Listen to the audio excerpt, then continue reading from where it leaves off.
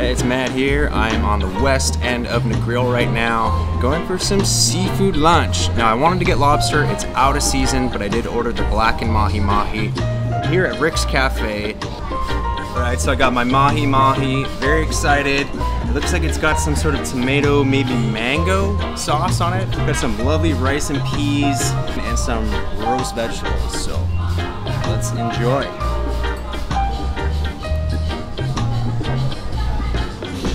Perfectly cooked, little charred on the outside, perfect amount of salt, well worth it. Cheers. As soon as I finish this, I'll show you the other reason why Rick's is famous.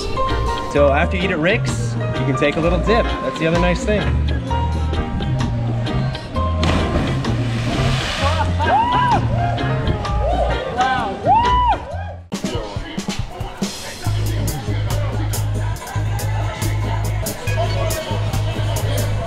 Hey, it's Matt here. I'm here at Watty's Jerk Chicken and Snack Counter. It's just about half an hour east of Kingston in a little place called Yallahs. Every time I drive by, I have to stop for something.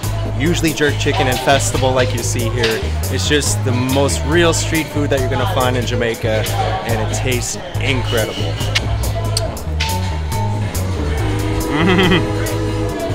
it is so good. Unbelievable.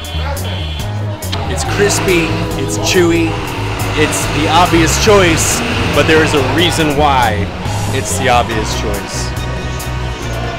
And you can also get this incredible chicken or corn or sometimes fish soup, whatever's in the pot,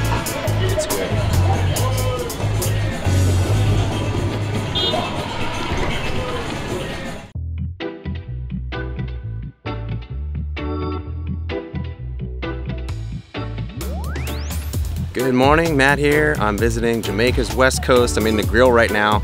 It's breakfast time, the sun is out, and I'm about to go try Jamaica's national breakfast. It's called Ackee and Saltfish. Now, I don't know if any other country has a national breakfast. I'm pretty sure Canada doesn't, but we're gonna go check out how Jamaica's tastes. All right, so my breakfast is here.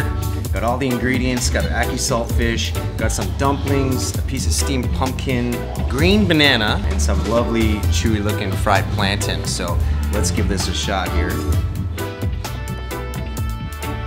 I don't know how a fish and a fruit can go together so good, especially for a breakfast meal. I would never have thought of that on my own, but you come to Jamaica, you've got to try this national breakfast. It's unreal.